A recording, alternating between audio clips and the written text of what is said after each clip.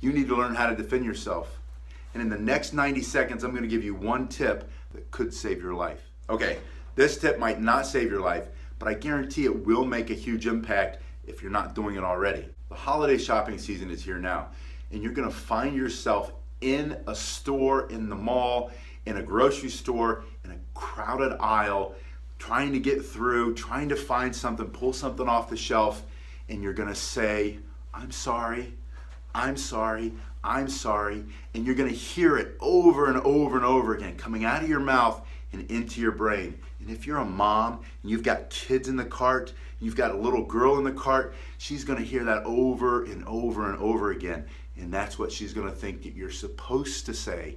And you're not supposed to say that because you don't really mean it.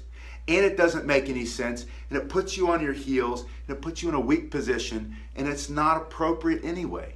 Instead of saying, I'm sorry, as you're trying to get through, you can say, Excuse me, pardon me. And if someone moves out of your way, instead of saying, I'm sorry, say, Thank you. It's a really small change, but it has a profound effect on the quality of your life.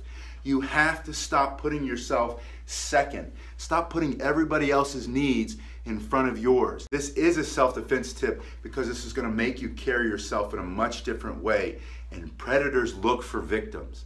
This is also a self-defense tip because all those I'm sorry's, I'm sorry's, I'm sorry's, which pushes you back and back and back into your shell and into a weak position, is going to have a long term effect on your happiness and the quality of your life. So, this holiday shopping season, take a deep breath, throw your shoulders back, stomach up and in, white knuckle that shopping cart if you need to, but walk through there like you are in your space and you have every right to be there. The words that come out of your mouth have powerful meaning to everybody around you, but mostly to yourself.